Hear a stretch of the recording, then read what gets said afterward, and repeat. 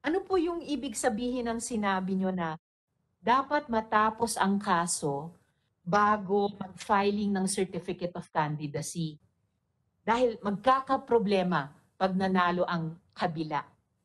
Sino yung tinutukoy yung kabila? Bakit nyo sinabi na magkakaproblema ah, pag manalo ang kabila? Mr. Marinas, wala pong halong politika ang investigasyong ito. Madam Chair, marami po kaming pinag-usapan doon sa aming meeting.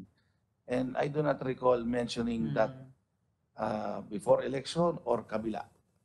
I do not recall, Madam. But um, sabi ko nga, ito po bang minimension dito ay bakit hindi po na-mention yung ibang sinabi ko na para sa kabutihan naman ng bawat isa.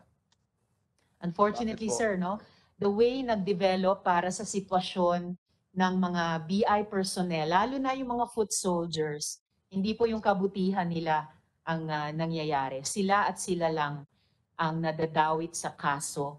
Samantalang yung mga hinahanap naming mga boss at pati mastermind ay hindi pa rin ah, nasisita sa ganyang ah, aspeto.